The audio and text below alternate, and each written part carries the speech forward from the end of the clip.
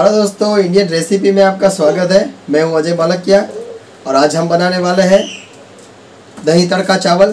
तो चलिए आज की वीडियो स्टार्ट करते हैं। तो यहाँ पर दोस्तों मैंने दो कप चावल लिए हैं और वो सादे चावल है। और उसे हमें दो या तीन पानी से अच्छे से साफ़ कर लेना है। उसके बाद दोस्तों, हमें जितना चावल हमने लिया है, यानी कि हमने दो कप चावल लिया है तो हम इसमें चार से पाँच कप पानी डालेंगे और इसे अच्छे से बॉईल करने के लिए रख देंगे। तो यहाँ पर दो कप चावल लिए थे हमने, उसमें हमने पाँच कप पानी डाला है और इसे हमें अच्छे से पका लेना है। तो यहाँ पर एक डेढ़ मिनट बाद इसमें हम नमक डाल देंगे, स्वाद अनुसार। और उसके बाद दोस्तों, हमें जैसे ही हमारे चावल पककर तैयार है तो तीन से चार मिनट अच्छे से लग चुके हैं और हमारे चावल जो है पककर तैयार है।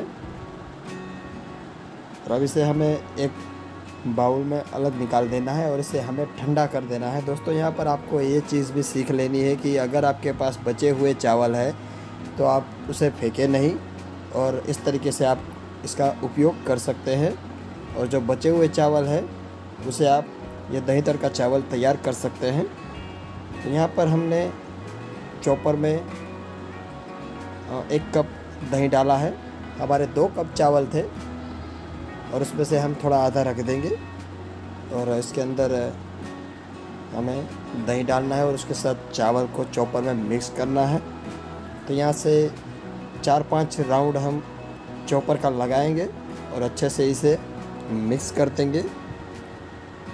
हम यहाँ पर दो बार चॉपर लगाया है और इसे अच्छे से मिक्स कर लिया है।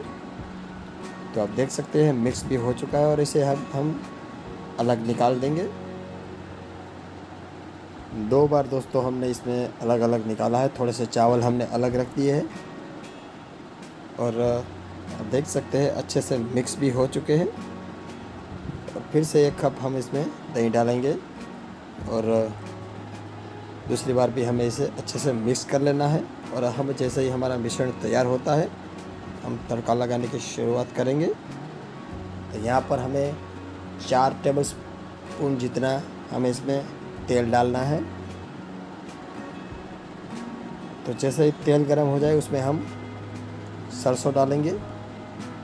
एक चम्मच और एक चम्मच डालेंगे जीरा। और उसके बाद खड़े मसाले डालेंगे, जो कि हमारे दही चावल को अच्छा टेस्ट पूरेंगे।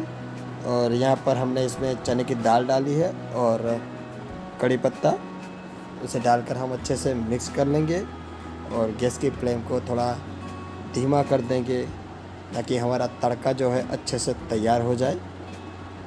और जैसे ही तड़का लग जाएगा, तैयार हो जाएगा, उसके अंदर हम हम हरा धनिया डाल देंगे। और अब आपको गैस के फ्लेम को धीमा कर देना है। और जैसे ही हमारा तड़का तैयार होता है, उसको, उसके ऊपर हमें, चावल के ऊपर हमें डाल देना है। थोड़ा हम इसमें बचा के रखेंगे गार्निश के लिए। तो इस तरीके से इसको मिक्स कर देना है और इसका टेस्ट बिल्कुल बहुत ही बढ़िया रहता है। तो देखिए हमारी दही तड़का चावल तैयार है। तो कैसी लगी आज की वीडियो कमेंट बॉक्स में ज़रूर बताइएगा। अगर आप हमारे चैनल में नए हैं तो चैनल को सब्सक्राइब कर लीजिए और ऐसी ही रेसिपी के साथ नेक्स्ट वीडियो में फिर मिलेंगे। तब तक के लिए टाटा।